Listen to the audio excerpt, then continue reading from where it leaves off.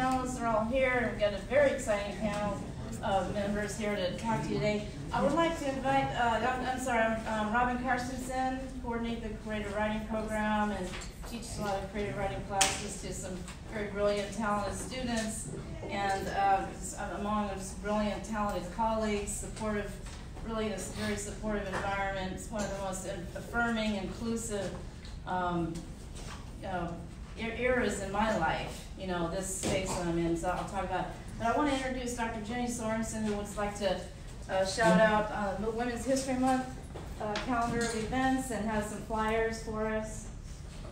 Hi. Um, so uh, we are still in February, but next week March starts, um, and we have a full slate. And going to be 27 events on the back of this flyer for Women's History Month. So almost every day there is something, um, and we have more flyers over there. Um, and I just wanted to sort of highlight um, some events that the uh, Women, Gender, and Sexuality Studies minor is really um, proud of and supporting. Our keynote speaker is on Monday, March 23rd, and it'll be Dr. Gabriela Gonzalez from UTSA coming to speak um, about her book project on uh, women activists from South Texas. So her book, her title is Humanizing La Raza, Borderlands Women's Activism, the Politics of Revolution, Benevolence, and Radical Reform. That'll be at 5 p.m. on the 23rd. So mark your calendars now. Get a calendar over there and start that event.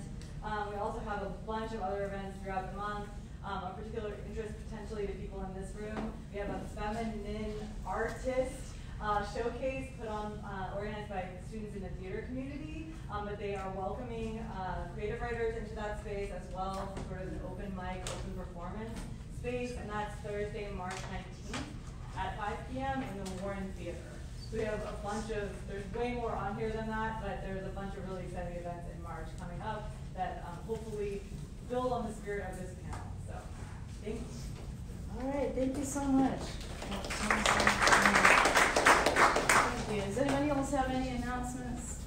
Uh, and I, just, I want to thank uh, Professor Tom Murphy and, and our Associate Dean, uh, Dr. Susan Wolf Murphy, for incredible, you know, work in the backgrounds there and, and the forefront and, and, and coordinating all of this. And again, thank you all so much for taking your time out. Um, Emmy Pérez, uh, from uh, who's in teaching in Rio Grande Valley and some uh, incredible poet, as once said that the audience bring in your energy and your listening energy and that kind of that the listening that you offer is it takes a lot of it takes a lot of energy and so we really appreciate your energy that you're bringing in um, to, to participate and make all this happen. Um, I was going to do a completely different introduction, and then uh, Abigail Keegan, who's coming from uh, Oklahoma, we were talking as we do as poets gather, we're, we're talking, scholars and poets talking, and I, you know, I started to talk about my personal story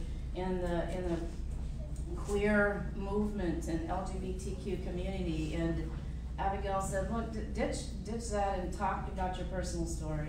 So I, I've got some fragments of thoughts, and I was actually up till 5 a.m., so I'm kind of like shaking from caffeine and nervousness. And um, so I'm going to just read a few things. In 1982, before the first pride parades floated through cities in small you know, makeshift trails of VW bugs and station wagons and ribbons and drag queens waving. I was I was returning home to New Jersey from California and Spokane, Washington, where I was stationed in the Air Force.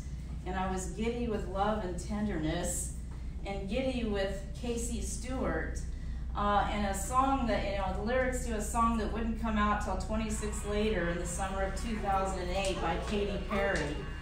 Um, Katy Perry, who who sang the song I Kissed a Girl and I Liked It. So that's a little bit where I was at the time, giddy with love and tenderness. And we had met in an operating room in an orth over orthopedic surgery. I was an orthopedic tech, and I was retracting muscles, and uh, she was the scrub tech, uh, exchanging the sterile equipment.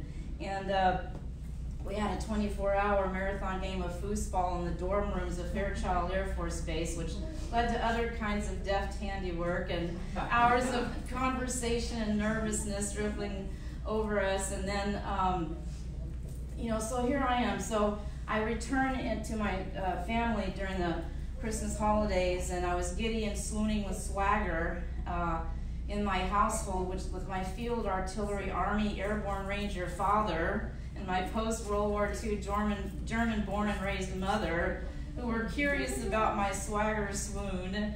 And so, as I was springing gaily forward around the household, this coiled energy of love, and um, so, so my mother asked me, you know, I don't mean to offend you, but are, are you gay? And uh, so, without missing a beat, because I was raised in a, a household of duty and honor and truth prevailing, um, where a child uh, whose name was called in our household, our very hair follicles would quiver and snap to attention. If you've watched the 1979 movie with Robert Duvall, The Great Santini, about the U.S. Marine Corps officer, that was my mother and father kind of rolled into the Great Santini. And so in that household, so I sort of, you know, with a hush and enthusiasm and prideful knowing said, yes, I'm gay. To the faces of the military industrial complex, for whom that would have been an egregious sin and deeply threat, profoundly threatening to the military, you know, community in which heterosexuality was is paramount, you know. And so, um, my mother said to me, I didn't raise a disgusting queer.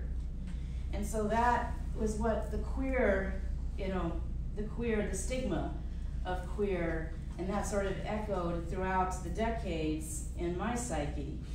And so it's, it's really kind of interesting how here I am 38 years later, and it's such a different world in some way, many, many ways, and it's an incredible um, experience to be here. Um, so I just, uh, Meanwhile, um, we'll talk about in the 1980s, at 1982, when queer was such a pejorative term, an officer and gentleman uh, film was coming out with the famous line of steers and queers line, uh, uttered by Louis Gossett's character Emil Foley, the gunnery sergeant to Richard Gere's character at the Aviation Naval Academy. And three years later, a variation of that would be echoed again in Full Metal Jacket. It was actually echoed six years earlier by Matt Dillon character, Matt Dillon's character in another movie. Um, so while I was in the military, I was working very hard at surviving as straight and passing as straight so that I could survive. And meanwhile, I watched some of my dear friends, one of them, uh, Raphael from Sinton, Texas, just down the road, getting booted out, dishonorably discharged, changing their life trajectory. Um, their psyches and their access to emotional, mental, uh, physical health uh, for being quite not straight. And so, and meanwhile, secretly, during my different stations in California, I was stationed in, in Turkey and traveled the Middle East, I also joined a drag performance group. So I was medic by day and drag king by night. And I was doing this, you know, so years before, uh, and then meanwhile, Jack Halberstam then Judith Halberstam would be working on their notes to female masculinity. And I was singing Kenny Rogers, you know, with Kenny Rogers, Dolly Parton duos, and I had no idea about feminism and the queer movement because I'm in the military, but I'm in this subculture in the military. Um, I won a meritorious medal in 1985 for performing actually Tina Turner's Proud Mary donning a wig with three other guys in an officers club. And one of the officers, a higher ranking guy, came into the clinic one day and said, I'm going to give you a medal for your performance, you know, and taking care of the troops, kind of thing. Um, and meanwhile, I was taking English classes at the University of Maryland overseas at night while I was doing my medic duties during the day. So, so that was really a saving grace. And I was writing a 22 page handwritten essay entitled Antimicrobial Therapy in Human Parasitic Related Diseases. And the cover of Time magazines in that year, 1985, was a cover of the AIDS epidemic. And so this is where I'm coming from. And meanwhile, if it became suspect that I was anything but just performing, you know, gender, transgendering, and performing um, anything, um, uh, you know, doing anything other than performing non-heterosexuality then you know, I could, then I was barraged with different kinds of sexual assault, which my entire military career was just sort of navigating this gauntlet of sexual assault as a woman and a whole rank and file from non-married to married men in you know in their homes and in the corridors of medical supply cabinets. And and so those are details for, for poetry and other conversations. But just to let you know I, I'm part of a, a whole you know history of women in the military and LGBTQ individuals coming from a very entrenched um, toxic you know hyper masculinity culture. Um, so that was navigating that system and uh, sorry, um, you know, the pushing, the shoving in corners, and and so and and giving guys more ammunition to test the property that I, that women were and LGBTQ community individuals were, and uh, so anyway, I survived that. Meanwhile, in the 80s, as I'm doing that, you know, surviving the military overseas, back in the states, you may have heard Mel White, who became a one of the Christian uh, leaders of the Metropolitan Community Church. But he was living out his memoir notes, uh, which was published in 1991, Stranger at the Gate, to be gay and Christian in America. Basically, he's chronicling the uprising of the right wing Christian conservative movement through the 80s that launches a sweeping attack on the LGBT community, demonizing it. it has a devastating impact on you know thousands and thousands of individuals and families. Um, to access health care and basic acceptance and belonging. And even in our coastal Bend community, there was one doctor who, was, who would be willing to see AIDS patients through a radius and radius of miles and miles. And he just is getting a plaque now uh, through the Coastal Bend Wellness Foundation, which was formerly, the, in 1986, the, Coastal, the AIDS Foundation. I find it, you know, it's, it is devastating. We are in a Trump administration era now, which is launching increasingly aggressive you know, deregulation policies uh, since the Reagan era against the environment and a deep, uh, disturbing platform against LGBTQ, women, people of color. Meanwhile, I'm reading Leslie Feinberg's Stone Butch Blues, Trans Liberation. I'm deep. I'm writing on the Miss boards. We, but well before Facebook, we had feminist forums and uh, LGBTQ forums, and we're all writing to each other. It's a huge community, which a lot of those shut down. Ms. Magazine, Robin Morgan started uh, the Ms. Forums um, discussions. We had a huge debate, years and years of debates over Michigan, Michigan Women's Festival. You know, contentious uh, debates over women-born women, trans women. You know, what the access to safe space, and I could go on and on. Um, finally, we're getting documentaries of Sylvia Ramirez and the role of trans women in the Stonewall riots, which you know had sort of been suppressed um, for many many years. And I and I'm and I'm coming here to the university finally out of the military. I moved into Texas. The, ended up here with a my first partner whose family is from Kingsville. And I said, yeah, I don't really know if I want to live in Kingsville, but hey, Corpus looks really pretty, so let's settle here. And uh, really started to read uh, radical feminists at that time. All of Mary Daly's books, who and Mary Daly is really misrepresented, I think nowadays, given just a blurb in feminist anthologies. And I was reading all of Audre Lorde's, you know, essays and poetry, and June Jordan and Sheila Jeffrey. So the radical feminists, and Naked in the Promised Land by uh, Lillian Faderman, who then also so deeply uh, profound work and reading the memoirs of all these people who made it very possible for us to be here now. Like hard, hard, long sacrifices and years and years of work to Lillian, Lillian Faderman is one of the first, if not the first, uh, woman to be on a faculty senate at a university and actually uh, survived a lot of um, oppression for suggesting that we include women in literature by women. And she also came out with one of the first Chicana anthologies.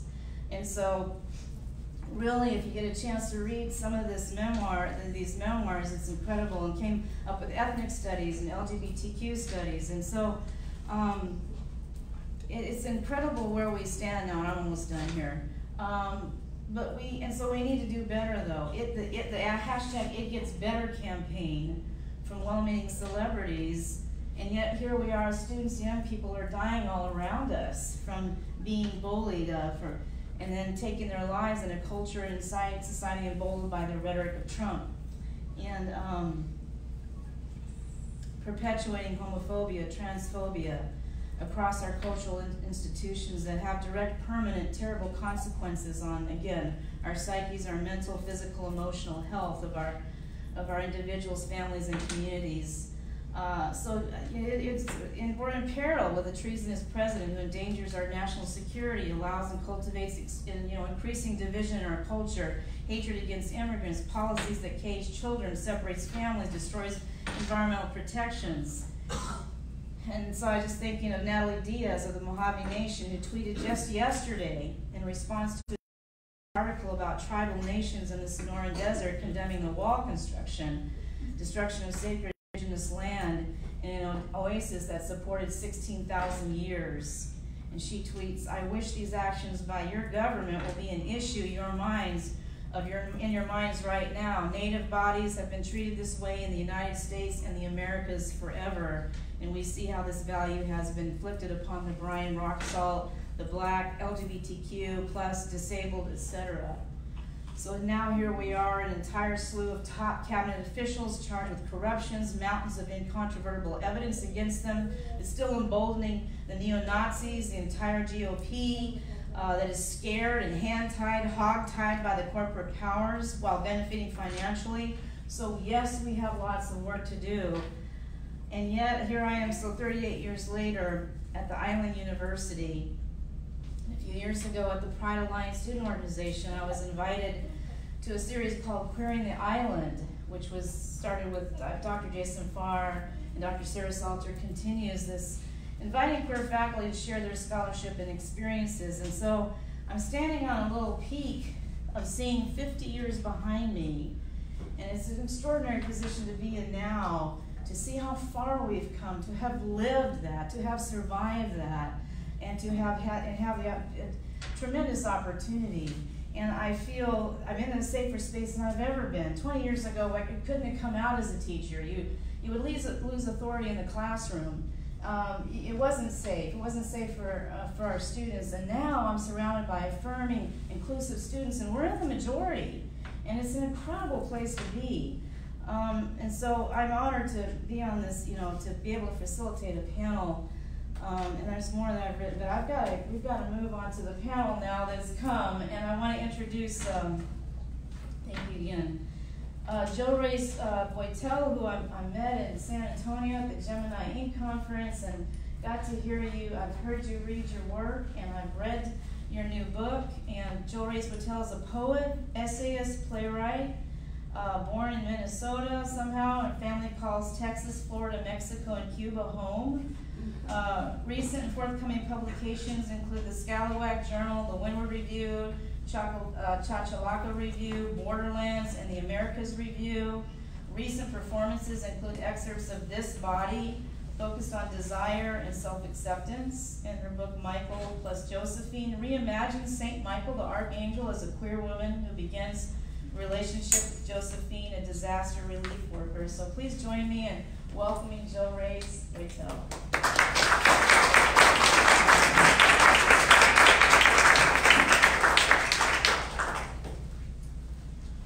So I wasn't even sure what we were doing. I have a few pieces that I wanted to read. I did not bring the book because right now everything in my house is chaos. Um, I have folks who ask me how I came up with the idea, and really it was a desperation. I had written for two or three years um, family stories in the form of poems, but we grew up in a really fucked up childhood. A lot of us have it, right? But there was drug abuse, all kinds, uh, all kinds of violence. Thank you. Excuse me. Um, all kinds of violence, all kinds of poverty, of that and surviving that somehow. Um, there was also because my father was Mexican American. Uh, he had his own issues with my mother being Cuban American or being Cuban in America. Uh, so there were also immigration issues. There were issues of like who belongs here, even within those two communities for which Trump would say we're all Mexican and none of us belong. You know, he likes to say everyone is Mexican. God help him. Um, but uh, it was hard to write it, and I really hurt myself in writing it. And it wasn't until after I had gotten through the bulk of that that I realized that I needed to write about love. And so I woke up one morning going, screw this, I'm gonna, because I, I had a habit of waking up on the weekends about five, do a couple of hours of writing, then go back to sleep for a bit. So I woke up and, and I found a feather the day before, like, feathers are all over, we have a ton of birds, right? But, um, a feather right in my pathway, and it was white, and it was gorgeous, just fluffy, it was just beautiful, beautiful feather. I picked it up, which I normally wouldn't do, and I had it on my desk, and I was like, why would a feather just show up right in front of me? And um, I know because I'm special, right? Yes, but I needed that moment, like you grab at things to make yourself feel like you're really there, you know. So, um, so I looked it up, and of course, because I'm a Google, but I always say I'm a Google witch. 'cause I wanna know whatever like things are, like see what the symbols are across the cosmos. And it said that Saint Michael will appear and leave like a feather if he's in your path or helping you. And so I'm like, well, that's interesting. And then so then I do another Google search for images of Saint Michael, and I'm thinking, Saint Michael really is kind of I mean, really with the coat and the extra and the, all the, the cherub cheeks. I that that one looked so beautiful. But so then I'm thinking, well, well, maybe it was like Joan of Arc, who was a woman, or maybe like so many of our, you know, in our history of women who, who dressed as men, but were not and fought battles and everything. And, and I thought, well, we all fight battles. If you're a woman at any point in your life, you know you fight a battle. And um, every day, right? And so I thought, I'm gonna make St. Michael queer, yay, you know? And so I wrote every day two to three poems um, of St. Michael and, and all female without, you know, any kind of, uh, and then all of a sudden I got really excited and I texted like ten friends because one morning I woke up and Josephine showed up and I'm like, yes, now we have something. So I was really excited to be able to do a queer love story that for, that for me, I mean, I did it, it's a novel in verse, so if you like to read, if you don't like to read, but you say you like to read, this is the perfect kind of book for you. Um, but it, because it misses all like the dull parts, like they put one mood on at a time. It's like no, you know, it really is just like get to the kissing, right, or something. So, so I'll read a few so you get an idea of Saint Michael. Thank you for bringing this. Oh, I thought I I was like, yours is missing a page. No, it's not. It's, it's good. St. Michael's logic. St. Michael is feeling badass. Has cut her hair, and everyone says her ears are very nice. St. Michael walks around wearing her lover's old shoes left in the haste of moving out.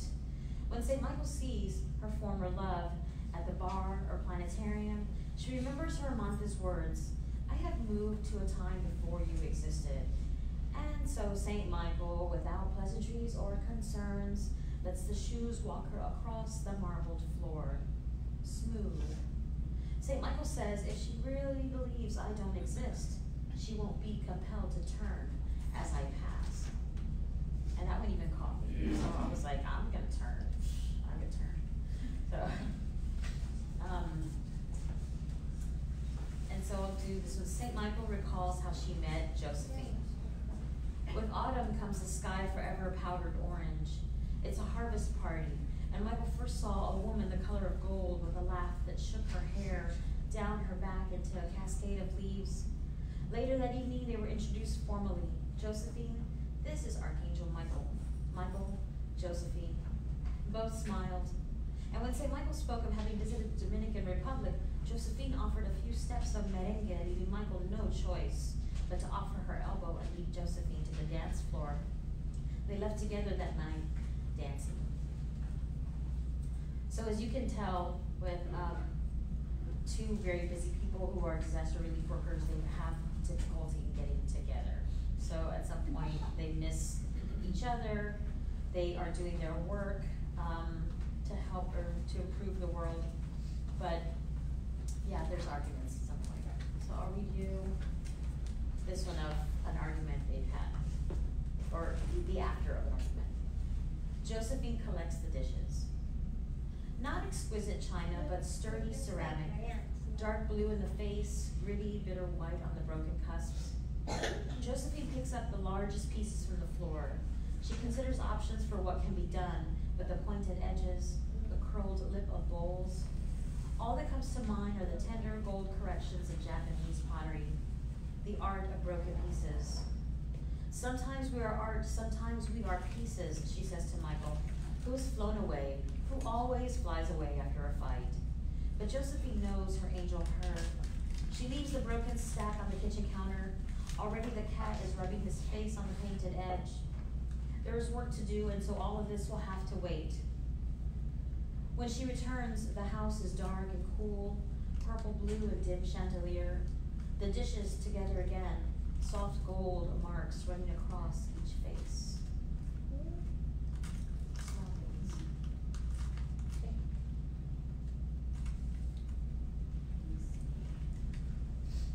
So St. Michael, um, actually, of the two, St. Michael probably does the most growing, um, within the book, and that's because Josephine has had to live as a human and has done her work, and St. Michael has not, so.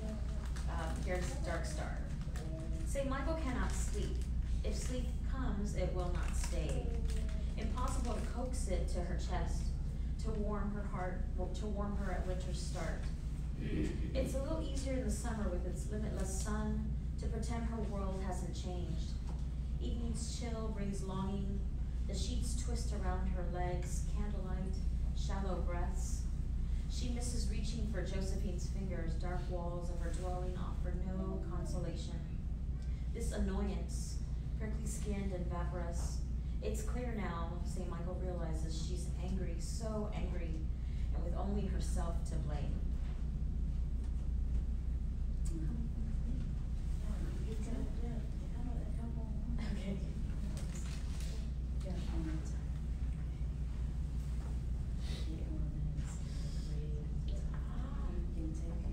Oh, yeah, I'll do it.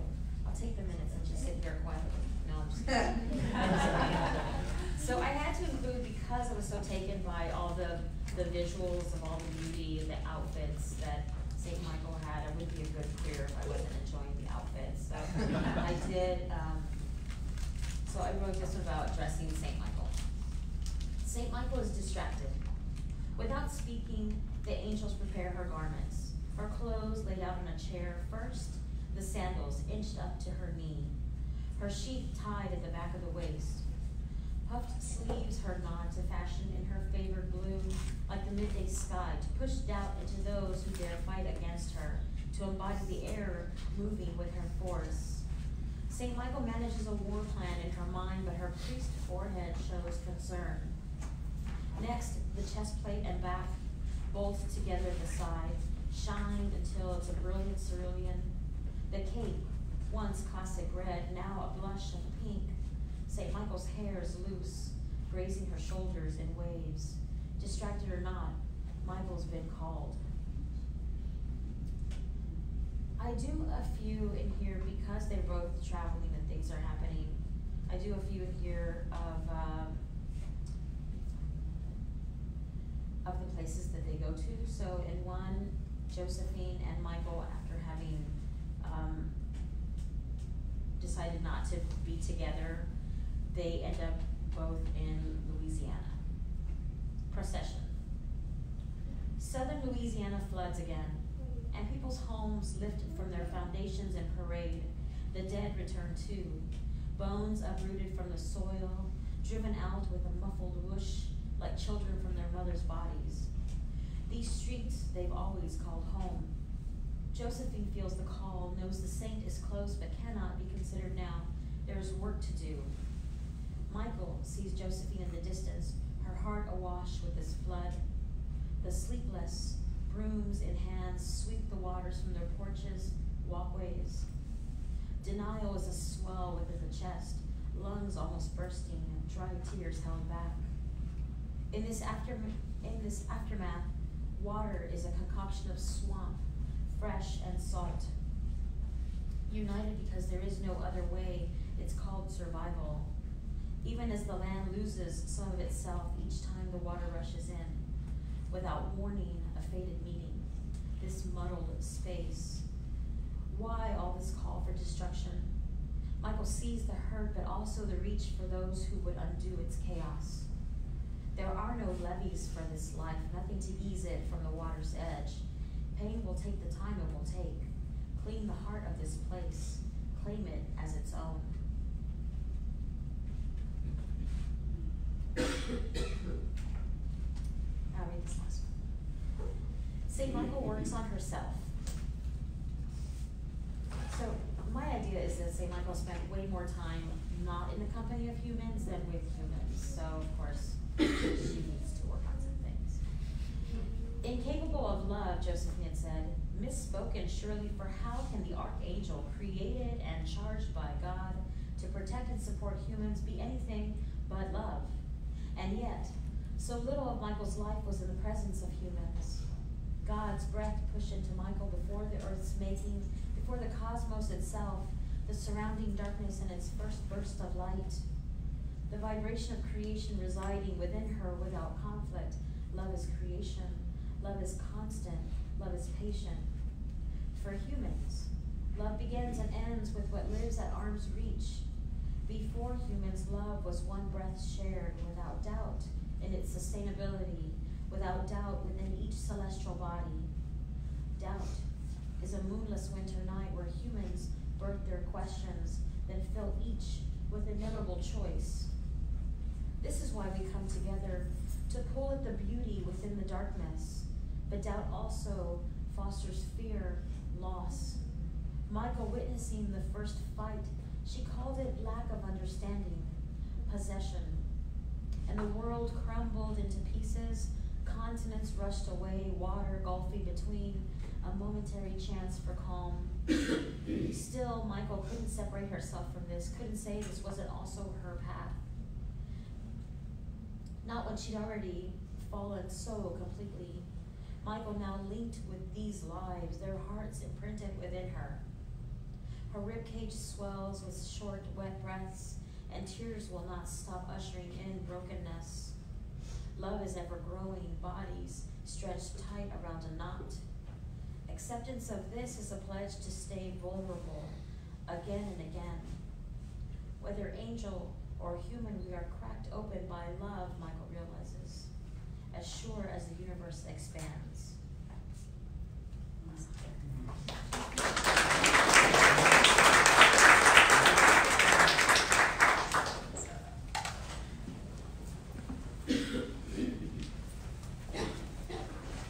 Thank you so much, Joey Reyes. That's a dazzling uh, blend of the spiritual traditions with uh, the new, uh, you know, inventive reimagining of, you know, Saint Michael and um, in a in modern en- environments. It's really, um, that's a breathtaking, it's a breathtaking book. Um, I want to uh, thank Jo Reyes. We'll uh, continue with Zoe Ramos. Um, who is a graduate student here and a, a poet.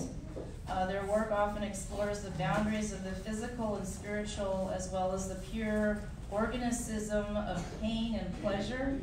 They are currently working on a master's creative thesis on the subject of the abstraction of universal knowledge from subverting lens of understanding, i.e., cultural compartmentalizing of basic truths and emotion in the body as connections to primal knowledge.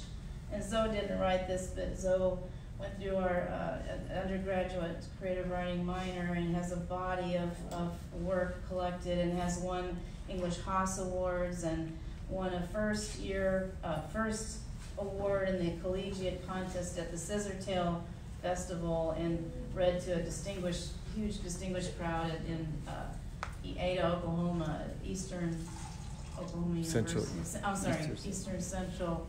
Ken, Close. Ken Hada here, here is who runs the Scissortail.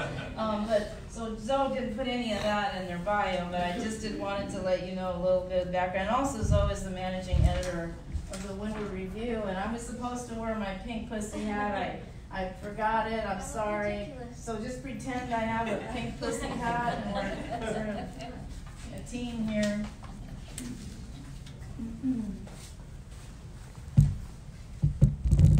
Okay, alright. I'm sorry for any delays here. I just, uh, well, I have to give it up to, first of all, everyone who invited me here. I know it wasn't just Tom who got me on the panel with such talented professionals over here. I feel like there's, you know, just a, a line full of people who have so much more wisdom than I have, but uh, I feel lucky as well that, alright, can you hear me better now? All right, so I feel lucky that Tom allowed me to sort of changed my plan last minute, and so I am a big believer in only really presenting what you really care about, even if it's not the most well edited work.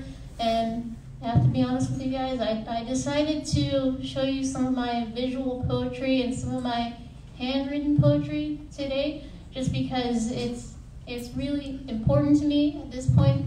Um, and my bio, it talked only about my thesis project because that's basically everything that's on my mind right now is my thesis, if I'm being honest. I couldn't even remember anything else. But um, so a, a lot of these, most of these are going to contribute to my thesis, if not going to be a part of the, um, my creative thesis. Uh, I'm in the English program, by the way, the master's program here. Um, and so a lot of these are sort of forming the you know the basis of that work and what it is is that it's an exploration of primal knowledge. And maybe I'll talk more about that maybe I won't but the idea is to um, sort of use poetry as a way to do research into the architecture of the unknown right? And so to sort of elevate creativity you know and make it on par with um, you know, scientific research in a way, or really just to kind of, um, you know, have an erasure of these labels of science and art, um, because a lot of people know it, and um, some of you haven't met me yet. I was actually in the chemistry master's program before I came into the English masters, and I'm so glad I made that change. And so that's that's sort of what forms my inspiration here. That's my background, but. Um, I want to kind of try and jump into it here. Um, I hope this works. Oh, there go. Oh, there we go here. Oh, I see. It was the end of the slide. Bear with me, folks. Okay. Okay. All right, so I'm going to start with something simple, and, and this is what some of my visual poetry looks like, by the way. And just throwing it out there, I, I don't consider myself a great artist. I prefer to call these my doodles.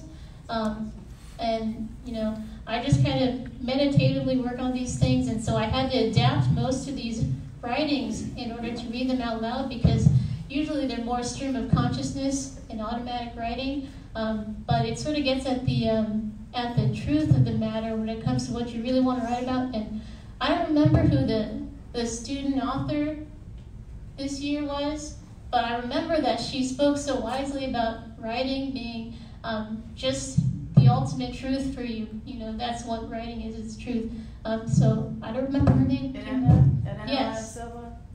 Yeah, Laura Silva. All right. Elena, Okay. Elena Silva, Laura Silva, the Author's Day.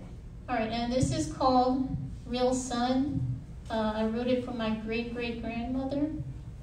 All right. Um, my great great grandma was a sage woman, a sage woman. When her husband was at the sheath, philandering with another half known moon or gun, man's things, whatever that meant in 1843, she protected the harvest. She had to. People were different then, but not really, just as jaded. She could feed herself with nothing but dirt, roots, real sun, two hands, and wet. Anyone could, but she knew it before they did. Love. She said it first, nothing more. But no longer for him. She fed herself while he slept in other wombs, comfort dark on other earths, lay down his ship, claimed his own empty island just to feel a little more free. Probably had a lot of love to give, but not to her because she wasn't his. Wynn would say. She saved a shotgun down her boot for safekeeping, not for pleasure. Just like she saved her husband for 50, 60 years. She didn't want to use it or use him like a brother to her, too scared, too small, a premature baby of feelings for another human to name. She fed herself over ripe juice of nutritive unknown fruits, giving her the metabolism for a puning. Fence movers donned a dissolved particle dust, dusk, bridge to more bridge. When he came back for more, she led him to his next commission. Past the corn, she had been tending the pigs and the chickens. She had made a small house for him to live in because she wouldn't let him back in her bed. Her. Thank you.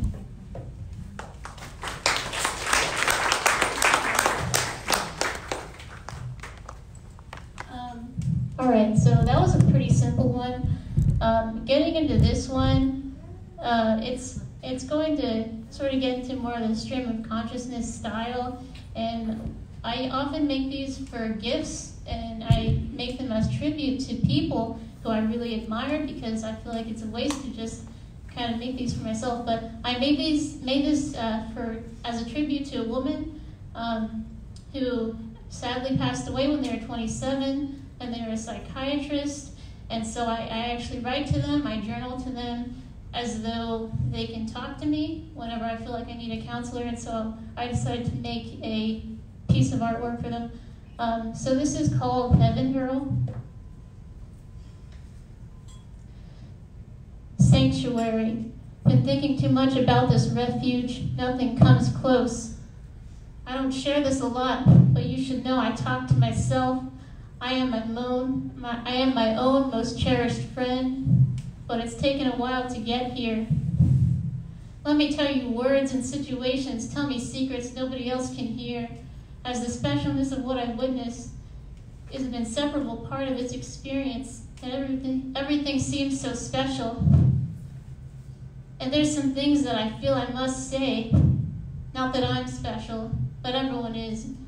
Everyone has different ridges on their brain, different bo- box bodies of experience, rivulets of everything that has happened to them in history, life, tempered. We could never know. Everyone is special. Heaven girl, ironic counselor who's already dead. If you die at 27, does that mean that there's no 28 you? You'll be 27 forever. And does releasing your body from your mind, death, make your essence pure? Does it make you less yourself? The sensitive human waver from across the room?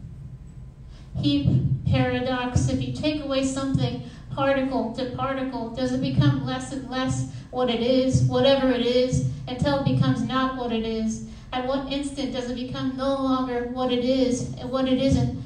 What is it then? Chaos theory, butterfly effect, even small things can make a big difference when time is allowed to pass and changes exponentially induce more and more changes in things, movements in the cosmic universe of time heaving desperately, endlessly in only one direction. You, small you, could be the speck of dirt in this galaxy that causes the end of everything and anything. But maybe it wouldn't really be your doing because you're just the tiniest speck of dirt who can never know what it would take to turn the right leaf over, to cause the annihilation of yourself. But I still like to write to myself, with myself, for myself, like it's another person across the room. And it's okay. What do you say? In this universe of movements leading to more movements, just being is decentering. We cannot know something in language and spirit without foregoing some qualities of it. All things must first be divided before they can be known. Nightmare. See through mind falls out of your hands. Just being is decentering. Everything will be everything and nothing with time. Just being is decentering because we foam at the mouth, agony, become less whatever this is, bend by bend, crunch. Even orifices and pores we have are so full of seething alive emptiness. Virtual particle pus never clean, never nothing, never clean, never nothing, never clean, never nothing, not even empty. Space is really empty. How could you ever be lonely? But colors are just a name used to delineate a particular common perceptual experience. Colors as we know them are nothing but a reflection of light at a certain wavelength, a function of the chemical qualities of the thing that the color is seen on. But the colors of our emotions follow far fewer rules, and losing them is much more tragic. Black is not really a color, but 11 years later, your father still wears black. All right, thank you.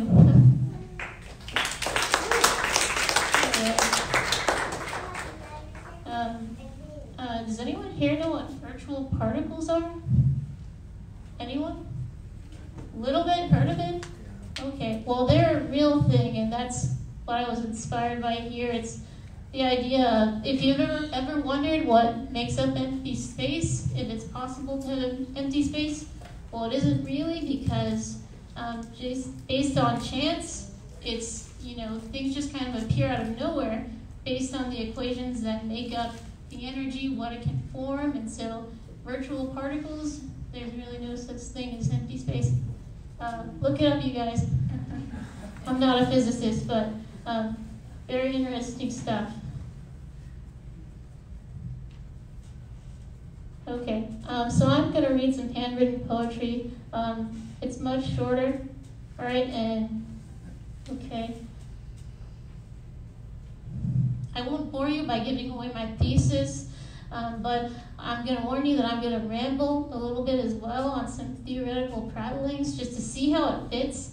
All right, um, so I appreciate you listening, but I'll, I'll get into it now. All right.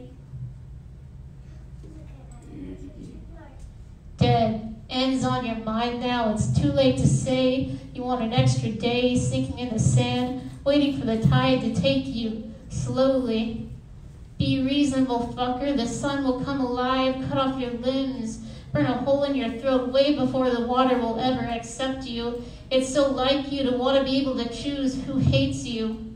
But this mind is free. It's the dirt beneath your feet, granular inside you between toes and other holes, blistering. Stop pretending this is what you wanted. I know your heat better than you. I'm no fucking god. I'm free and nothing, nothing and free. Say it with me. Real love hurts and nothing else, no need. Real love eats you like a lion, not knowing your name or what name is and what knowing is. It's superficial in its taste and nutrient profile. Why wouldn't it be? It's a function of animalia if we want to believe that we can love, love must be a bodily thing too, not just some magical, fluffy thing that exists outside you and around you in its perfection. Love has needs like a gear, grinding into your bone stuff while you're still alive, like fuck, fuck, fuck. There's more to life than what you can touch. And what, what, what am I? An animal who needs food, a germ that needs infection just by virtue of continuing to live?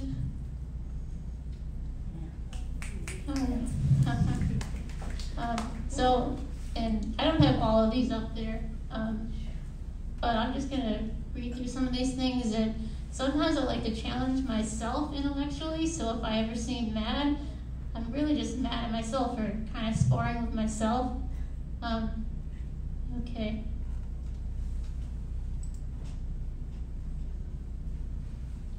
All right. Well, that's fine. It hit me, burned itself in. Why do we have to be gracious for friends? Since you say we're all full of shit and existing on it, for it, with it, when we let our odd selves be? If this is how it's meant to be, our mission, then why do I feel so worthless? And why am I so nothing fresh, apple with no skin? I told you from the beginning I'd never plant sickly roots in any soil. I'm sorry I did. I'm just made of need and needing something to just exist on, delay final death just a little while longer.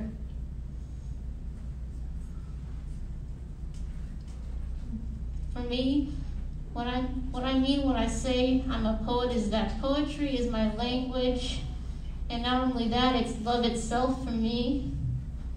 But despite how much I love words, my odd friend brain has whispered to me that words are nothing but a transmutation of the actuality. Capital U, universe, the noumenal, witnessed by one, translated into sounds which are, derived from the unique language universe and perceptual universe of an individual, molded into something altogether different and more textured than words sitting there on paper. Words are not the end of what is out there, though they are a substantive translation or picture. In the same way, our universe of understanding, our capacities of thought, are also not the end of what's out there. In fact, this means that our cognizance of the substance and meaning of what we say is not a limit of the substance or meaning of what we say. All this means is that you may not immediately know what your worth is, but you are never just what you believe yourself to be. I'm not afraid of being drawn to pleasure. I have no shame for it. I don't believe in shame, but I still feel it sometimes. But when I do, I have no shame for my shame. So just as soon as I feel it, it becomes nothing. Because in being aware of my own disbelief in shame, shame no longer exists. Shame is not shame anymore. It's just so, so much just something different. Something you couldn't be afraid of because it's out there and you feel it. It must be something that's a part of everything, the vast universe of senselessness and sensibility coalescing and becoming one.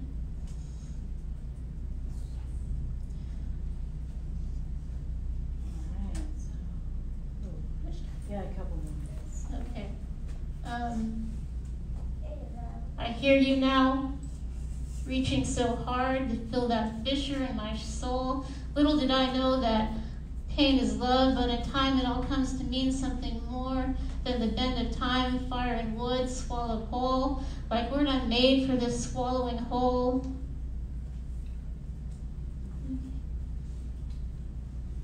Take three minutes, go. I mean, I'm sorry. I'm sorry. I didn't even time myself. But I want to jump to this one right here, and I'm going to read it fast, all right? But um, it's called Creature, Here I Am. I wonder how I'll die. Bodies. Does my body know more than me? Does my body know how I'll die? In failure and comfort, friend, I listen to the Jesus in my head. I can always be honest with me, with Him. I am one hell of a creator. I am one hell of a creature. You can always be honest with me. I'm one hell of a creature creature. I want to compliment you on just how much you don't care, how much I want to tell you how much. Special skin, dread. Dread already spins us fully on its axis here, so complete without even needing you to fill its stomach in. Dread, dread too cold to turn around from. I need something to kick me alive once again, even if it hurts. I'm roadkill on the street and all too willing.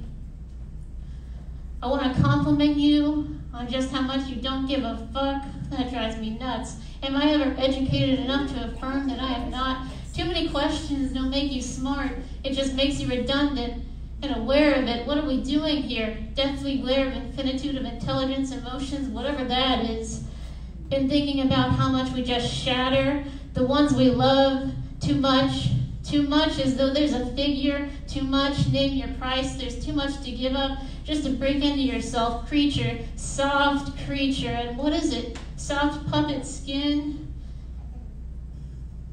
Signs in every damn thing, just a plaything. People, creature, empty skin, movement you're made of, decay movement becomes whatever it is meant to be, dead as always, decay, rolling stone, too much. This isn't anything special if it isn't too much. Am I too quiet or something else? What is this? Empty skin, callous red, useless, overfed on wrong stuff or whatever just to feel like everyone else. Diet, just like everyone else, empty skin, vestigial wastefulness you couldn't cut off. And death takes its place as your master, the gravity to your matter form, pulling you into yourself, making things slowly break and writhe and dry up, and making money vanish making your purpose instantly turn to nothing. It doesn't even steal it with a human avarice. Death doesn't want your purpose. Death knows that pain is your only real birthright. All right. Thank you.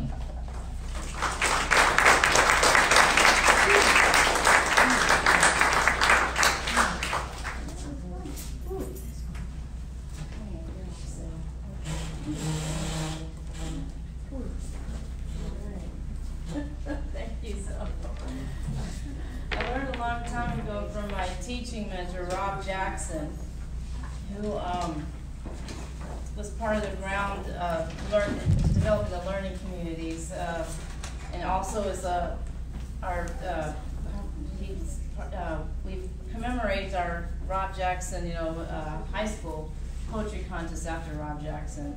But he told me a long time ago, sometimes the best that you can do as a teacher is to just create a learning space and step the fuck out of the way and let your students, you know, do what they're gonna do. And it's been, uh, Zoe, it's been really such a, one of my greatest joys as a teacher to be able to, to, um, work with you and write poetry with you and see, uh, to see you, you grow as a writer. It's just, wow. Um, so thank you so much for sharing such innovative, important, urgent work. We're gonna move on, and I would like to introduce Anel Flores. Oh, wow. Uh, was awarded Women's Advocate of the Year from the University of Texas, San Antonio, and the Nebrija Creadores Award from the Universidad de Alcalá de Henares in Madrid, Spain. Please forgive me if I, I try to pronounce things properly. Um, Flores was named Best of San Antonio Local Author, the Chingona in Literature Award, the Ancinous Award is Squaw Valley, the NALAC Fund for the Arts Award, the Oxyon Women Inspiring Women Award, the Yellow Rose of Texas Educator Award, and the Mentorship Leadership Award from the National Performance Network. She is co-editor of forthcoming Jota Anthology with Kórima Press and author of Lambda, literary award nominated book, Empanada, a lesbiana story in Probaditas. So thank you for uh, joining me and welcoming Anel Flores.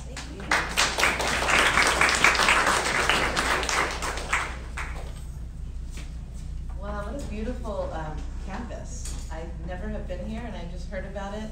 And for a minute, my daughter almost came here and we were deciding, but I'd never driven up.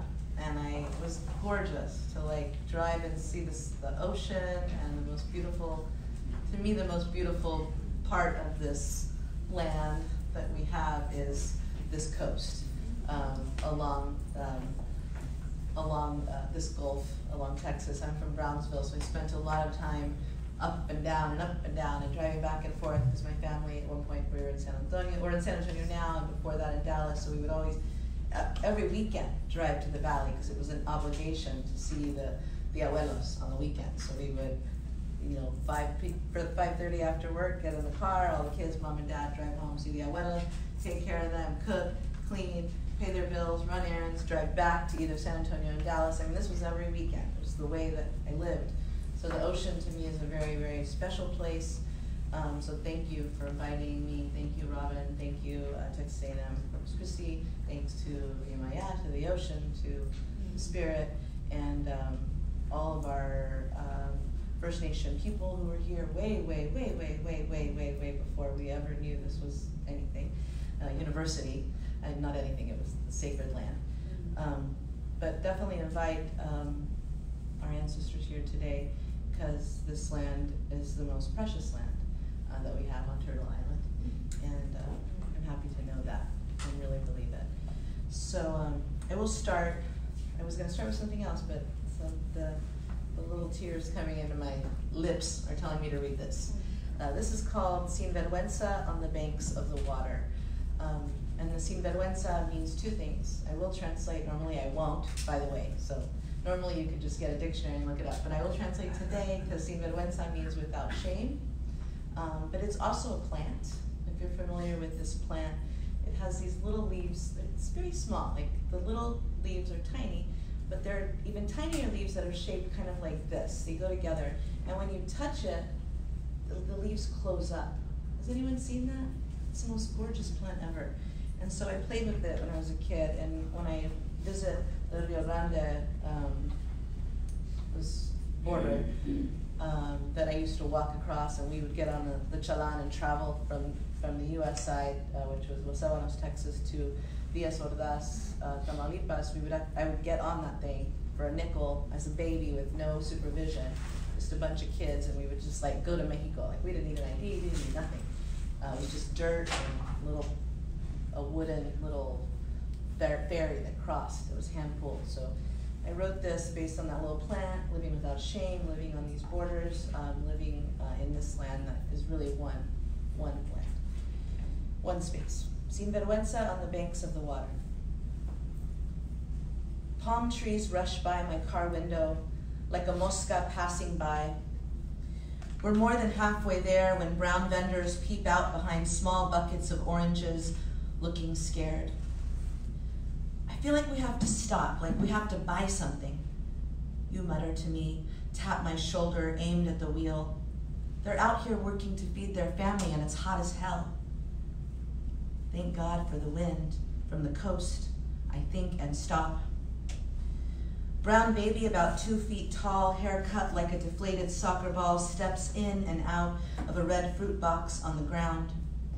She sits on the ground, sits in the box and laughs, stands up, laughs, steps out, laughs so hard her body folds over. You don't stop staring at the small girl repeating her thrill in the red basket, out of the red basket, and again, laughing. I pick a couple oranges because it will only be the, the two of us for the next few days. Mommy and Papi don't know I still have a key to the casita beside the Arroyo Colorado River. Mommy and Papi don't know about you. I reach for the last papaya in the basket, shuffle my hands through the large multi-limbed leaves, wrap my whole hand around her flesh, take her musky scent into my nose. She is ripe. I'm going to dig my teeth into you when we finally get there, I think. When I turned a motion for you for your approval on my fruta selection, I don't see you. You're squatting on the ground playing canicas with a kid who could be a boy or a girl. Lucky kid, I think. Kid has the same deflated soccer ball haircut, faded blue shorts, plain white t-shirt, and the collar grayed. Dad told me once he used to cross kids illegally from Mexico when it was easier to hide them. My abuela even brought expensive parrots in her bra once. They were drunk on a sip of tequila. Wonder if this kid came like that, I think. Every car racing down 77 towards the border makes me question are they going to go pick up Mexicans hiding in suitcases and ice chests the way you were snuck into the States? Sorry you had to go through that, but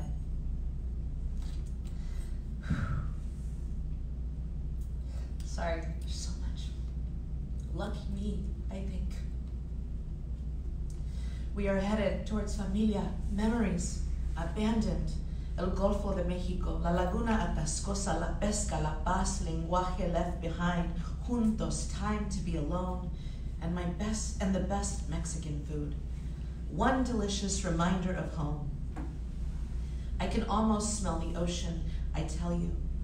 But you don't hear me over the highway cars and whipping leaves. The wind slaps her hand on my ass, pushing, forcing me to skip to the next wooden table of cositas for sale, sal limon, peanuts, chicles, empanadas, y dulce de fruta I can't identify.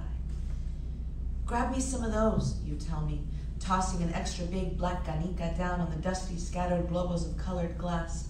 We'll be driving for another two hours before we get there. I'm gonna be hungry. Out from behind the table, a tiny abuelita about the same height of the canica shark rises from an old wooden fruit box. Her hands are open, smile is too. Buenos dias, you tell her. And I mumble to her my best textbook Spanish reading right after you. Hola, ¿cómo estás? Buenas, she says. Tenemos nopalitos y maíz blanco en la troca, dígame. And you, of course, are already at the back of the truck, shoulder to shoulder, picking out what calls to you. I hope I have enough cash for this love trip, I think. Are you ready to go, Chula? I ask. You choose to not hear me. Wets in the air, light orange dirt mixes with sand and caliche under my chanclas. Thinking of getting to the water shakes my lungs, twitches my neck, makes me shuffle my ankles. The old brown woman hands you the wooden crate full of goodies. You take out cash from your pocket, wrap your arms around the abuelita, point and blow kisses to the baby and lucky kid, pass the crumpled cash into the lady's palm, and turn to me smiling, wrinkling up the corners of your eyes that remind me of the future with you, beside the water in South Texas. Who knows how much you paid her? Lucky me, I think. Ready, baby? You tell me. I'll drive. Yes, I am. Thanks. Moscas fly past our eyes. Maybe we will be brave enough to pick up some Mexicans, bring them over this time. We talk about it. Share the dulce de camote, cacahuates. The brown fruit, vendors in the rear view get smaller, a reflection of the two of us in our windshield against a horizon of orchards, and the school bus yellow Rio Hondo bridge calms me. I wake up at the water. We're here, you say. I choose not to hear you, choose to forget my shoes, step out into the wind and seagull songs. Black ocean spreads out in front of me and pushes up in between each of the cracks between my toes. White bubbling lines of foam soak into the dark blue of my jeans. Baby, you call me. Yes. I answer you this time because I feel safe here, and a huge knot rolls down my throat, dissolving before it hits my stomach. I feel honest here, I think. Yes, I answer again. You choose to not hear me. Press into my behind, slip your small brown hand in mine. Love you, I say. Inhale the wet air. Everything that is memory falls away. The drive, the kid, my parents who don't know I'm here with a girl, the ugly guy who stared at us like animals in the gas station. Everything that is memory falls away. The dry caliche, my skin, my baptism, my fat body I'm ashamed of, deep down, back there. Everything that is memory falls away. Inhale the wet air, ocean, fish, sex, your legs, mujer, mar, my eyes are watering from the wind. My breathing is clear. The moisture cools my lungs, reminds me of mentolato and my abuela. I breathe in the border over my shoulder, the ocean in front of us. Dig my eyes into the blackness of the horizon, step into the water and laugh. Step out of the water and laugh. Step in and laugh so hard. Our arms fold around each other, leaves of a sinvergüenza tree on the banks of the water.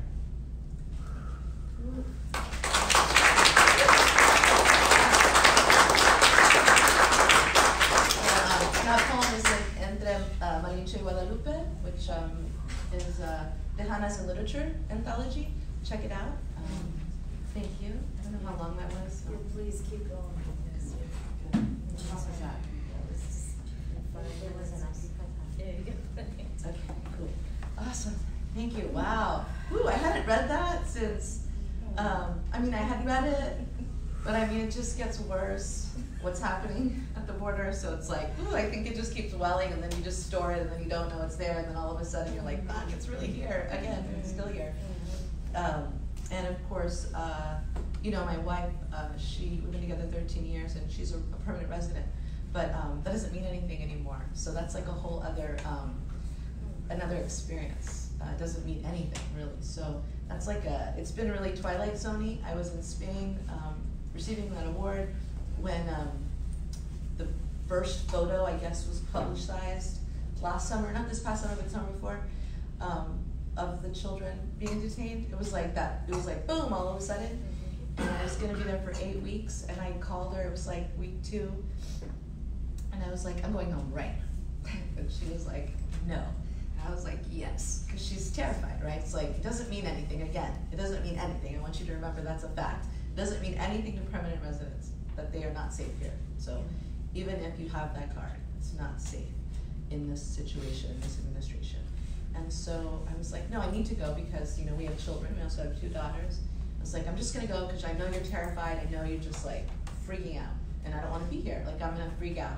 And she was so great, so gracious, and she's just like, no, like this is your life, this is your career, you just won an award, and you need to deserve, you deserve it, and you need to be part of it, and you need to stay there, and you need to do the research, and I'm like, damn, like, we're really blessed, and I never thought twenty-five years ago when I came out and the whole, like, the earth fell out from under my feet, I did not know it would be this, it would be this, um, blessed, right? To have somebody in my life that got that, that understood that the work isn't a game, right? So like for Jo and Zoe, I mean, for all of us, it's not like this cute thing that you wake up doing. I mean, you're really doing it to replace the missing pieces that have been taken away from us, that have been silenced, that have been erased, that have been burned, you know, and so we have to create that. We have to write our history. I mean, we have to rewrite it from ourselves, from our perspective, not from, you know, whose perspective. I'm not gonna. That's another.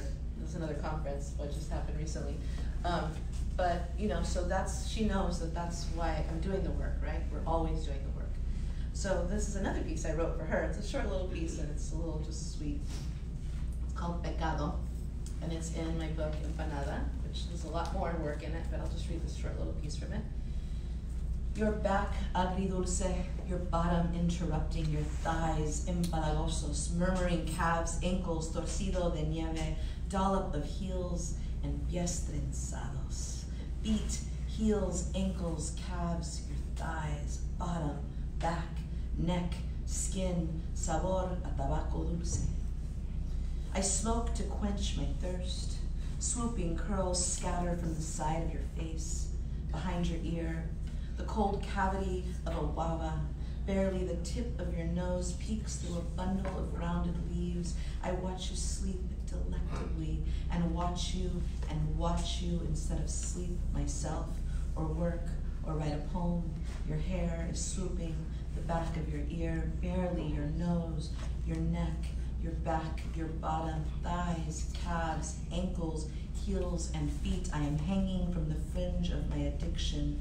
Mi tentación, mujer chula. Dedicate that to her. And then, how many more minutes do I have? I will decide what I read next. For real time, sorry. I don't know, let's see, the five more minutes. Is that enough time to do? I think it might be, s- Go for it. I'm not sure, it might be a little bit less, I mean more, it might be just a tiny bit. Okay, that's fine. This is, uh, again, something I've been reading since two thousand sixteen, but I, I just feel, I wasn't even gonna read it, I put, put it away, and I was like, it's necessary, always, so, and it's connected to everything I've been talking about. It's not okay.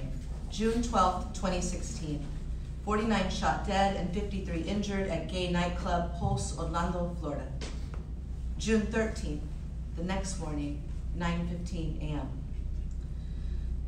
I called my mom because I longed for the feeling of being a baby, a feeling of being held, a space to safely crumble and cry. And like any sweet, loving mommy who raised me on fresh frijoles and tortillas and kindness, she asked, Are you okay, mija? I saw the news.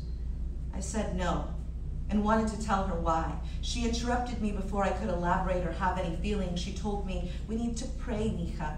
The Virgencita Jesucristo is there waiting for us to give this election up to them. No, but mommy, I'm scared. And she continued, I know, I know, that's why our Lord wants you to go to him.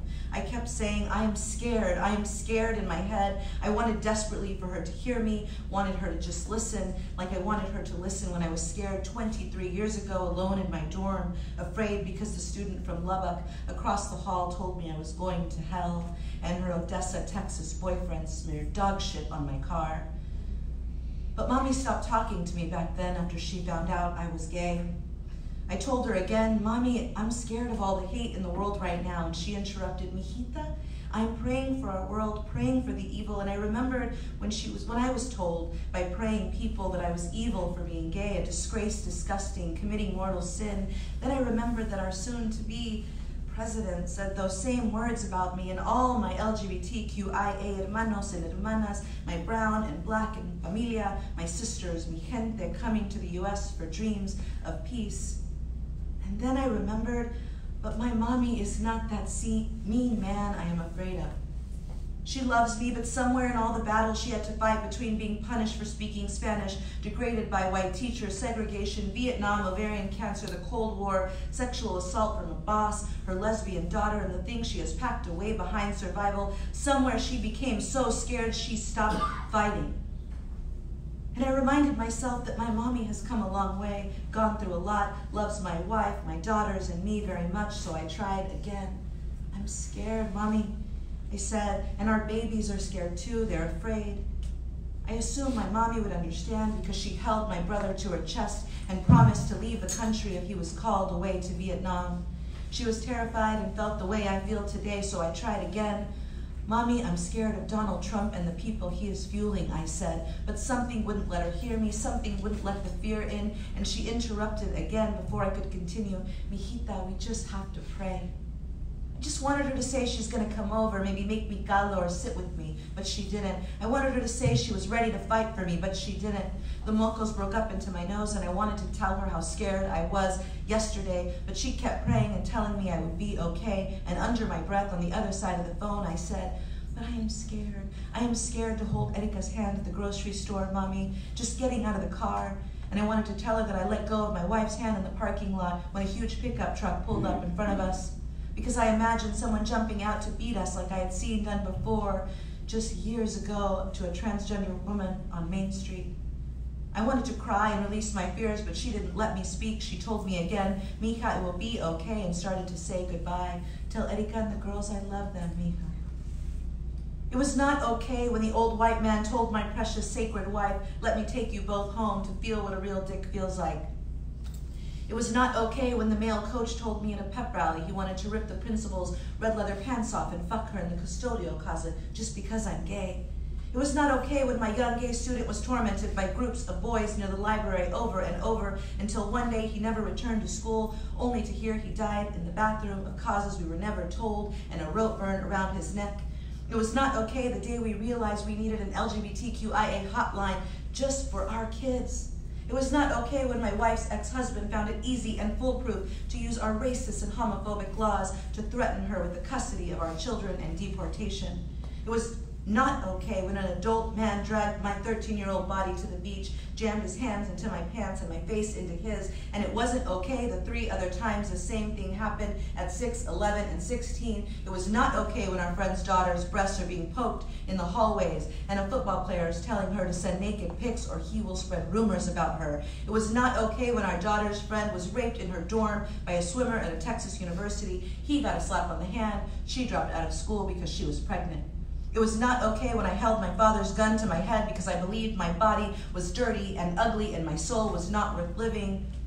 And it is not okay that when you started reading this, a woman was sexually assaulted in the US, and since then, two more, and before you are done, at least one more will be raped or grabbed or beat against her will. It is not okay, so do not tell me it is okay. I am scared, I have a right to be, and I am not going to just pray. I'm going to yell right back at the man who comes at me next time. I'm going to gather people together so we can walk hand in hand. I'm going to give my gente a safe place to land. I'm going to write our truths until someone listens. I'm going to walk with you to your car so no one can lay a hand on you. And I'm going to be a phone call away when you want to tell me how scared you are, because this is not okay. And if you don't believe me, read this again. Thank you.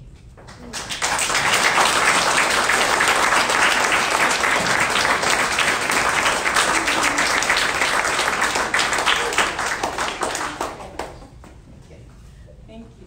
Wow. Mm. Powerful. Um, I remember, I remember Anel reading this at the Gemini, uh, at Gemini Ink. conference.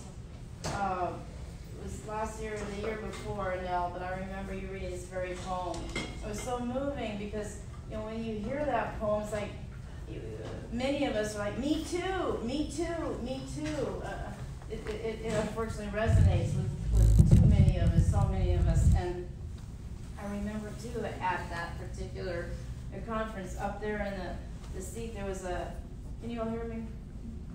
Um, there was a poet of some esteem, you know, uh, male poet of some esteem on that stage. And right after you read that, decides to open up a discussion. Well, I don't, he says, I don't get it. And then, and it's just, it was, it was infuriating. It was, it was, it, it just floored me. And I, I, and I lost my speech to, to, to speak to that, to, to speak uh, to that, um, you know, just infuriating statement. And um, we talked a little bit, I think, after, you know, I met you at the hotel, you know, saw you in the hotel. And, uh, I still cannot wrap my mind around that other than, and we talked about, you know, the importance of listening, you know, just of, of listening as, as you, as you, uh, speaker in your poem, your poem talks about the importance of listening. Just, that is an incredibly powerful poem and, uh, bo- both, uh, all your poetry is so powerful. So thank you for, for bringing it, uh, now in your presence. Uh, I want to introduce a student, um, to read a poem, uh, Trev. Uh, would you like to come up? I'm gonna interject, uh, and then we'll, and then we'll have Abigail Keegan, uh, just, we're doing some found poetry, a little bit of found poetry in a, in a poetry class. And, uh, trying to talk about poetry is everywhere in the language and how to arrange that. You know, as, as a poet, we're conductors and we're arranging this, this symphony of sound and imagery in the, in the sensory world and it's in all that. So Trev uh, wrote this, this found poem and I thought it was very appropriate to come and share in this environment. Um, so it wasn't planned. It was just yesterday or the day before and I just thought you gotta share this. Uh, Trev Trevino is a 22-year-old San Antonio native. They are currently an undergrad student at Texas A&M here, studying English along with teaching and TESOL certifications. Trev has been actively, independently writing poetry and short stories for over five years, non-academically, with themes of love, searching for one's identity, and being part of the LGBTQ plus community. And most recently, they have been published in the Windward Review and spoken at the the graduate symposium structures of care here last March. So please join me in welcoming Trev Trevino.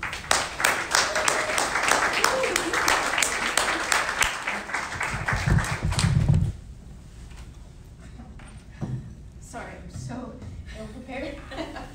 um, I was trying to think of what I wanted to say to um, give some context, but um, I too was up until like five or six a.m. writing other papers and doing other stuff. So I apologize if I may ramble or um, lose my train of thought, stuff like that. So um, to give some context, this is a uh, found poem, a, a draft. And if you're unfamiliar with uh, found poetry, it's kind of just gathering words, phrases, or even sentences um, from other places and creating a type of poem with any kind of message and stuff like that. Uh, originally, I wanted to write about the many lives that were lost from uh, black trans women last year because it's, I have noticed that it's not very known. But unfortunately, I couldn't really find enough work to to really um, create something that was worth reading and um, still honored them enough at the same time. So instead, I began to think as a trans individual what or where that um, transphobia kind of stems from. And typically, it's the lack of knowing of who we are and what it means to be part of the trans community or gender nonconforming or even a gender queer person. So, um, so this poem is articles of facts, interviews from uh, from different celebrities who identify as trans, gender nonconforming, and as well as gender queer people. Um, as well, and uh, hate speech from people such as Mike Bloomberg and um, some random people on the internet. So, uh, the title of this poem is called hashtag Trans Beautiful. It is a hashtag that um, celebrity Laverne Cox made a while back. She talks about how she kind of made that hashtag for herself to kind of remind herself who she is and that she is valid. And it ended up becoming a viral uh, hashtag. So I thought it was pretty fitting for the poem. So. Oh, also, before I start, sorry, sorry. Um, I just wanted to give a content warning and possibly a trigger warning to anybody that might feel uncomfortable. I'm obviously going to talk about trans individuals, violence against trans individuals. Uh, there's like a curse word or two, just in case. And um, I think that is about it. Oh, and talking about uh, gender dysphoria, stuff like that. So, hey guys, it's me, Nikki. Today I'm here to share something with you. Yes, there is a word for me. Never have I once seen myself properly represented on like a big platform, under my own circumstances, and it looks like that chance has been taken away from me. Some guy in a dress. For me personally, my body matters. When one's physical appearance doesn't correlate with how they mentally feel that shit, I am my own masculinity. I'm Chella Man, I'm 18 years old, I'm genderqueer. However, This does not mean I identify male. I feel most masculine in a skirt. Crossdresser. I went from gender fluidity to being non binary. Now I identify as a non binary trans girl. Those of us who are those of us who are gender non-conforming are dismissed. Sometimes it feels like I've lived two lives. Without rules, without labels, without any restrictions. I've had to medically transition so that the world can see my spirit. Isn't he trying to be something he's not? P stands for pay it no mind. I don't feel like there's anything mannish about me. I connect more to masculine bodies. We were raised to believe there's something wrong with us. When I was younger, I was born in the wrong body.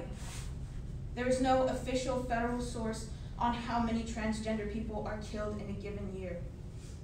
Female impersonator. There's such little representation for disabled bodies, people with disabilities, and black trans women. Folks almost always focus on transition and surgery. Those kinds of conversations objectify trans people. People always want to know when we knew we were different. When did you know that you weren't? Out of 111, out of 157 transgender, gender nonconforming victims of fatal violence have been black trans women since 2013. Thank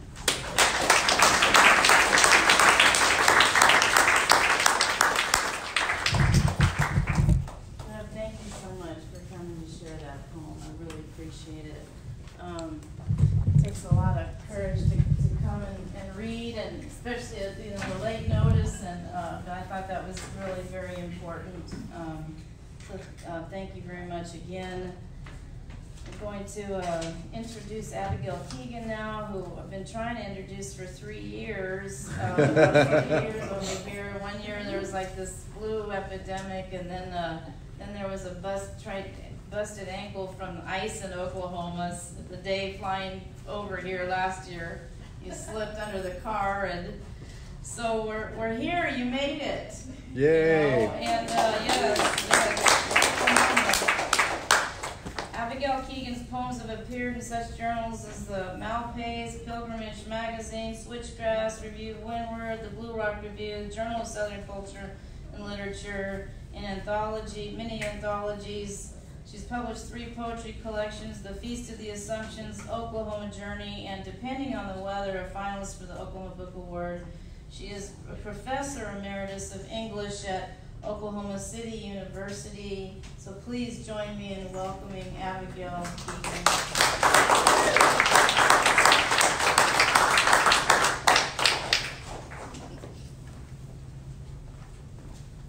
Well, Robin, thank you for having me here, and I'm glad there was no disaster before I came. I was a little nervous when you said, why why don't you come back? I thought, God, what could happen next?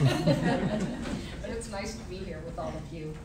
Um, It's also funny to be the old lady on the queer panel. Um, It's just an interesting, you know, I've gone through many evolutions of the idea of gay, uh, uh, of the idea of homosexual, um, gay, lesbian, you know, the whole, I've gone through the generations of this, and it's a, a very interesting phenomenon to watch where we are now and the, uh, you know, new kinds of questions that people are speaking aloud. They've always thought them, um, you know, but the things that we're able to articulate.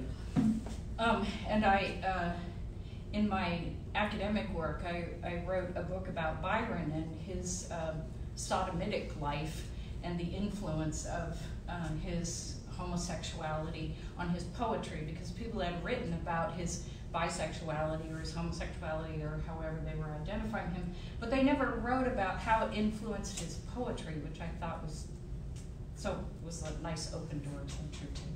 So um, I just retired. You heard Professor Emeritus, and um, so I'm getting to get to look back at my life at some of the high points and you know some of the things that have really marked me. And um, I just recently wrote this and um, thought it was quite appropriate, I guess, for this panel.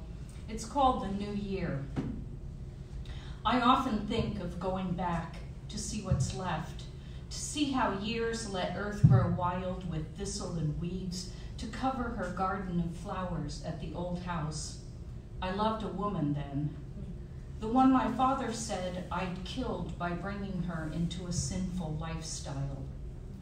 She liked to stay up late combing through Chekhov, mysteries, Southern Gothic tales, brushing her hair in the slightest light, making a shimmer. We spent days teaching, evenings and weekends, working with Women's Political Caucus, a women's shelter, a women's press, the first pride parades, occasionally dancing in a dark, smoky bar, often raided by police. For a while, I worried my father was right, not about sin, but that our lifestyle simply wore out the healthy cells of her body and let a cancer grow. I often traveled to Singapore back then, and once I heard a child on the subway say to her mother, No, the heart's not like that.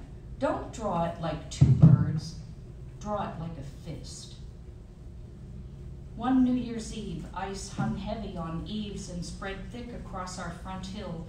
Anne, after driving 12 hours from Tennessee to get back home to me, threw suitcases across lawn ice. I pulled her up the incline so we could spend New Year's Eve together. I had the table set with candlelight, hopping John with black eyed cornbread, and as always, cranberries on the side her recipe for a year of luck. Chekhov told that story, the story of a guy who loved gooseberries. It was a simple but intense devotion. Still, the story involved loss. After an evening of memory, I can say I love another woman now. We have continued working with women for a change of world, and I can say I am often happy but such things are impermanent. Better to say, it is possible to work and love again, yet not simple. You and I sit quietly tonight reading. The light from separate lamps sets us apart, but the room, somehow larger than any I have ever known before, admits everything I know, own into this new year light. So, in the though 2013, 2014, where there was all the discussion of, you know, whether we're going to be able to have gay marriage, and I mean, it's been going on longer than that, but the, you know, it, the discussion intensified as we got closer to the reaching uh, gay people having full citizenship rights in the United States. Um, I wrote this poem, and uh, as a kind of as a point of irony, there's so much fear of gay marriage, and so this should really be called a gay wedding, but I called it gay marriage because of the time that it was written in. And I just recently uh, rewrote the end of it, even though it was already published. I'm awful about doing that, just you know. Um, because my part, my current partner and I um, have been together for 25 years, so I wanted to you know, give this to her for our anniversary. So it's called Gay Marriage 1995. When we were in Arkansas, a cottage garden grew like wildflowers up to the door and down a hill to an evergreen hedge. A cottontail rabbit sheltered himself in the shelf of a stone ledge while we held hands on a swing amid bee sweet music. Soft wind tossed pink crepe myrtle confetti about our nuptials and hummed an ode to joy through the leaves of large sweet gum trees as we promised our bodies to honor, our goods to share, our words to come from the separate poetry of selves into another song. No minister, no crowd looked on to bless or to deny our forsaking of all others. Only we, the rabbit and the bees, under the gentle shade trees, we were there that day to say with vows, here is love, united in the breath of true words and in our loving.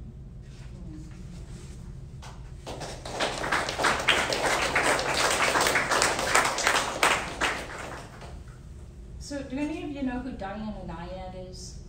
She was a, a worked for NPR um, as a reporter for a while, and also she's a big swimmer. And um, in 2013, uh, she swam from Cuba to Key West, and she had tried three times to do that. It's you know 60 miles. And I saw a film about her, and one of the things that uh, she talked about several times during that film was the fact that she had been molested by her stepfather, um, who was both her coach and, uh, you know, promoter.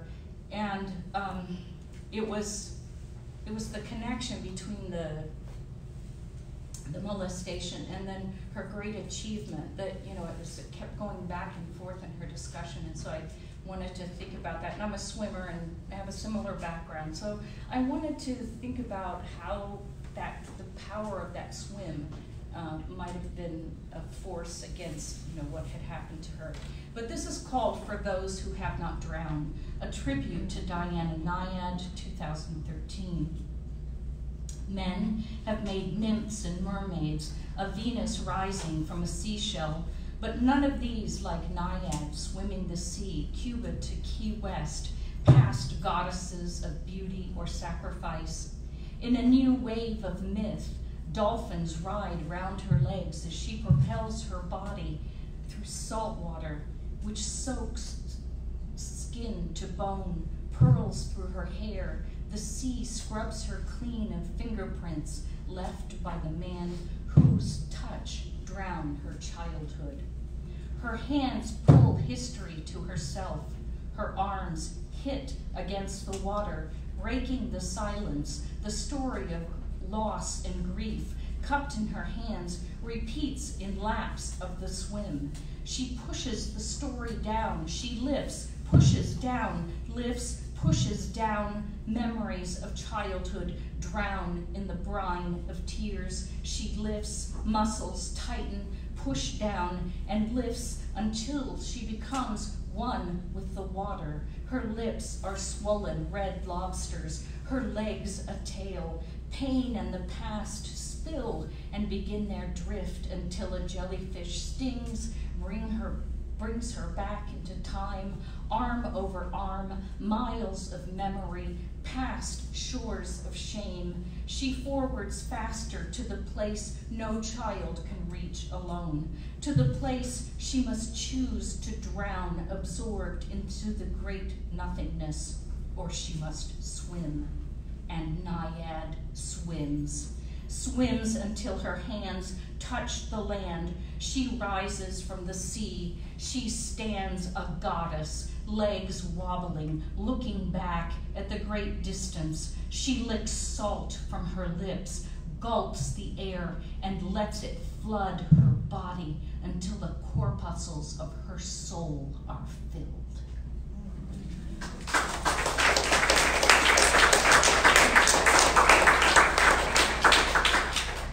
Um, this is my last poem, and um, it's one that will appear in Switchgrass Review this uh, summer, thanks to Robin. And it's um, she said what she's been waiting for me to come and read, so hopefully I'll do it well. um, this is called uh, "Keeping the Light," and uh, there's a explanation at the beginning of the poem that Catherine Moore was the first female lighthouse keeper in the U.S whose words are on uh, in written history.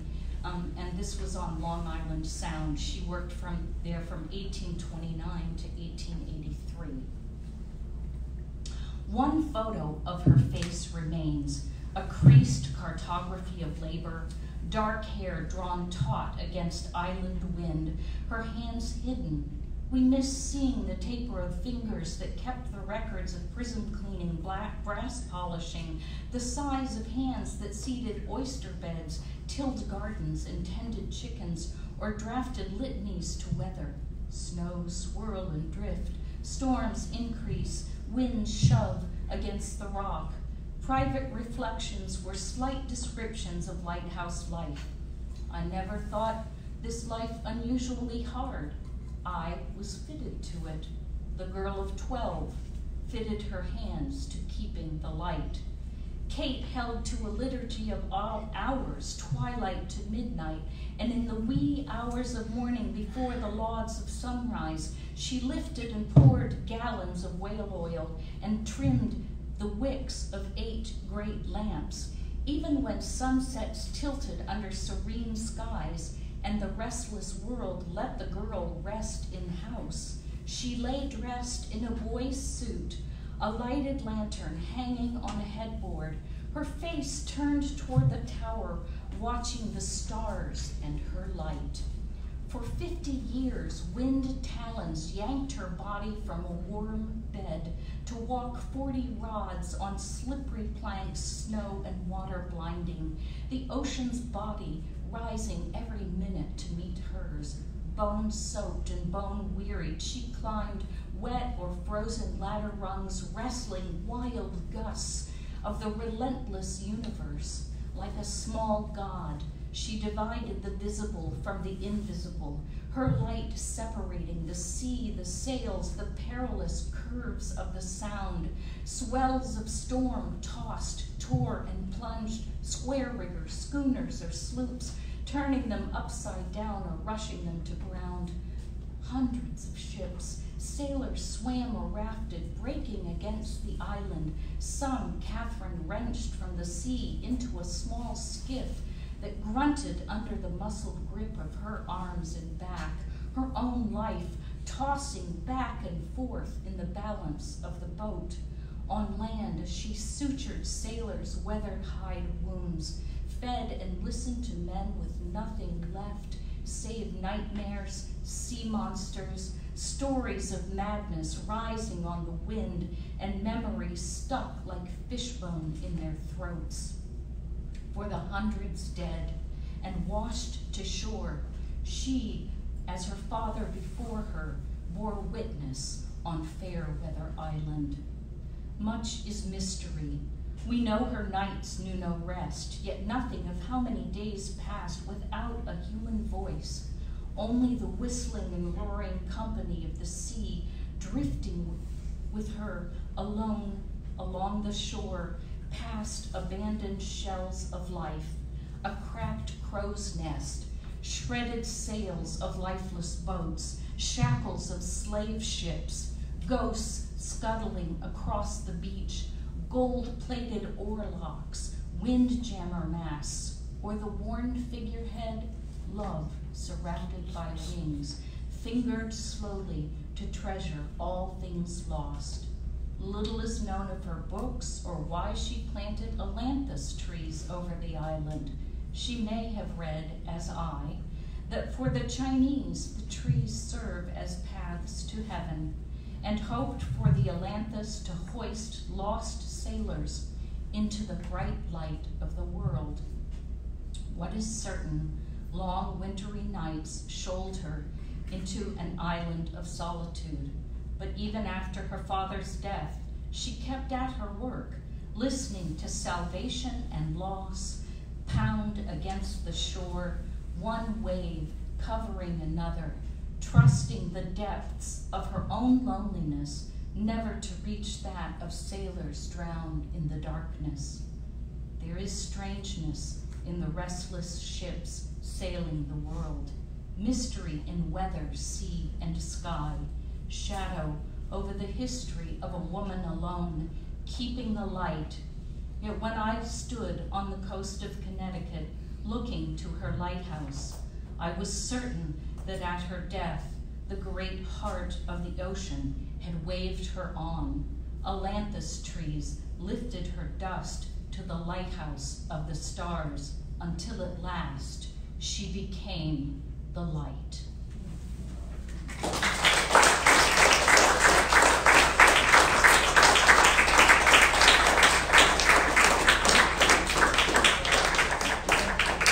Thank you, Abigail, so much. That was so gorgeous and so uh, wonderful to hear. And again, I'm so grateful for all of the panelists, you know, Jo, Reyes, and Zoe, and now Abigail. Thank you so much for coming, and all of you, thank you very much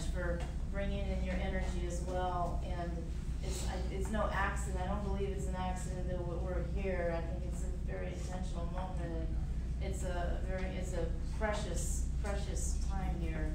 Um, just, we don't have much time, I'm not going to read because we've got about five minutes still. For any kind of questions or discussion, um, from the audience, please, we, we welcome any questions.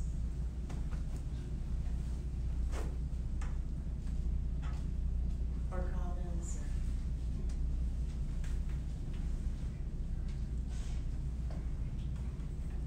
Lots, lots to absorb. Jim, Beautiful. Chet, absolutely beautiful. Stunning use of language and imagery. Thank you very much. Yeah, thank you.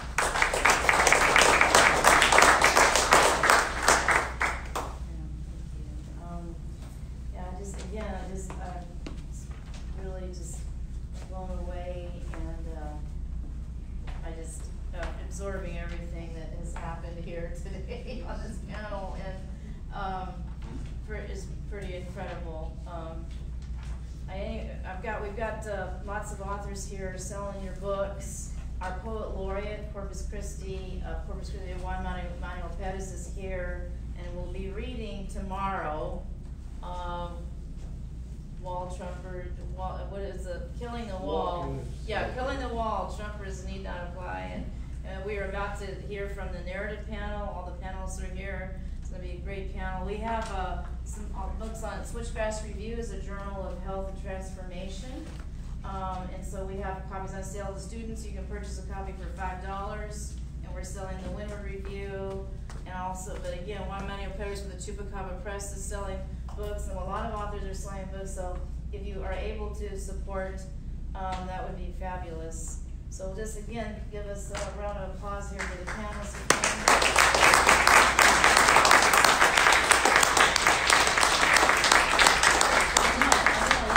Also, if you're ever in San Antonio and you are a queer writer or no queer writers, or you're coming back, every fourth Thursday at the Pride Center, I host and curate, uh, Queer Voices, which is, uh, amazing, it's, it's just a really fun event, it's really like intimate, and Jo's read there, so if you ever wanna read a fourth Thursday and you're a queer writer, LGBTQIA, um, then there's space for you there, and we'll make that safe space for you every fourth Thursday, just find me at nlflotus dot, or not dot com, but, well, yeah, that too, but my Instagram or whatever, just find me somehow.